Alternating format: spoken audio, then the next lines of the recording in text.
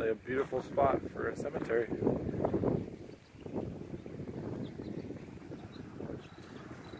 Good morning, Lyon Pryde, and uh, welcome to another cemetery tour.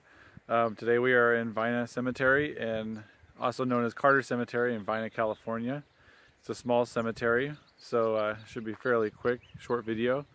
But uh, according to the internet, this um, cemetery is the the um, oldest active cemetery. Active meaning that is still taken uh, care of and landscaped and whatnot. So um, the oldest resident um, in this cemetery record is 1858. So we're going to try and find that person today, and hopefully we do. Sometimes that's hard. The old headstones are very hard to read sometimes. Um, so anyway, I hope you enjoy this video. It's a beautiful overcast day, possibly rain, so hopefully we get this video done before it starts raining. So I hope you enjoy the Vina Cemetery.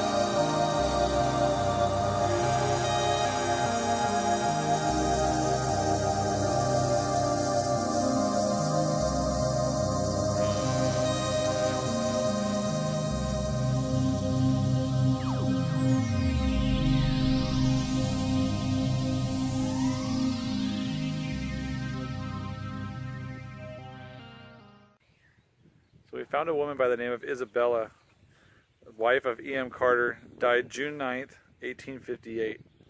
So according to the internet, this is the oldest um, headstone in this cemetery. So we did find it, which is pretty good because some of these old ones are very hard to read. And unfortunately, on the old headstones, a lot of them don't have the dates of when they were born. So you only have the dates of the death, which is, is kind of, but does say she lived 33 years. So I guess you could just do the math, which I'm not good at. And then you can go back 33 years. Mm-hmm. So anyway, that's pretty neat.